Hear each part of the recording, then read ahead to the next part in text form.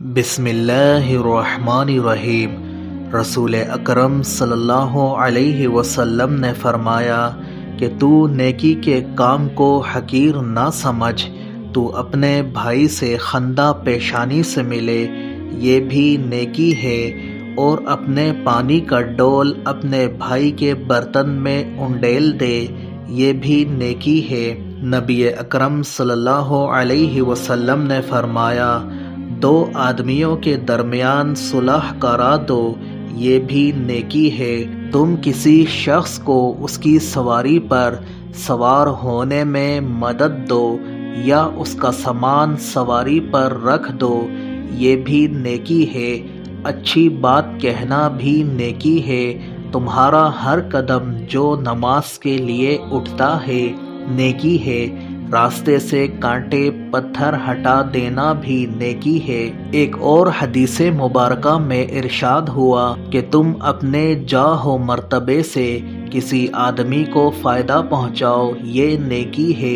एक आदमी अपने मुद्दा को उम्दा तरीक से ये बयान नहीं कर सकता और तुम्हें यह नेमत मिली हुई है तो अपने भाई की वकालत करना। और तर्जुमानी करना ये भी नेकी है। तुम्हें क़वत दी गई है तो किसी कमज़ोर की मदद करना ये भी नेकी है।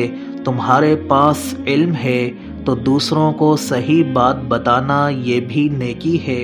हज़रत अबू मूसा अशरी रज़ी अल्लाह कहते हैं कि हुजूर सल्लल्लाहु अलैहि वसल्लम ने फरमाया, हर मुसलमान पर सदका लाजिम है मैंने कहा कि अगर किसी के पास माल ना हो तो आप सल्लल्लाहु अलैहि वसल्लम ने फरमाया, वो कमाए, खुद खाए और गरीबों को भी दे। मैंने कहा, अगर ये ना कर सके तो आप सल्लल्लाहु अलैहि वसल्लम ने फरमाया, किसी ज़रूरतमंद, मुसीबत ज़दा आदमी की मदद करे।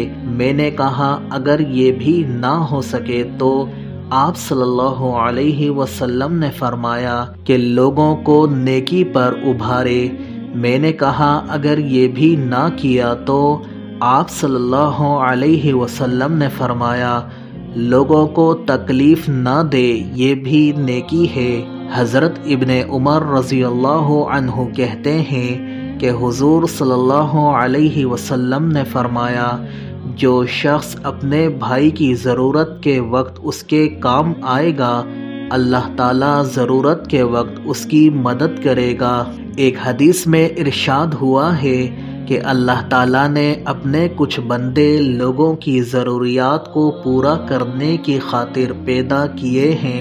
लोग अपनी ज़रूरियात उन तक पहुंचाते हैं और वो पूरी कर देते हैं। ये लोग क़यामत के दिन अल्लाह ताला के गुस्से और अजाब से महफूज रहेंगे।